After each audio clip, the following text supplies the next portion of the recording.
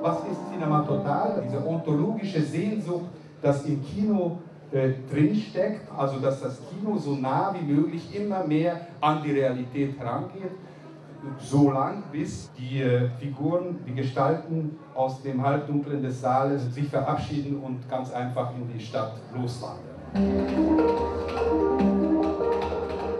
Ungarn waren immer irgendwie begabt für Filme, das wissen wir.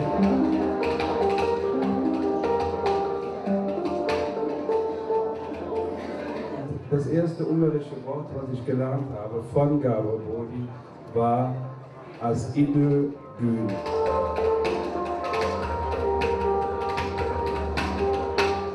Ungarn gehört zu den wenigen Ländern, wo solche Filme noch gemacht werden. Und das muss unbedingt fortgesetzt werden.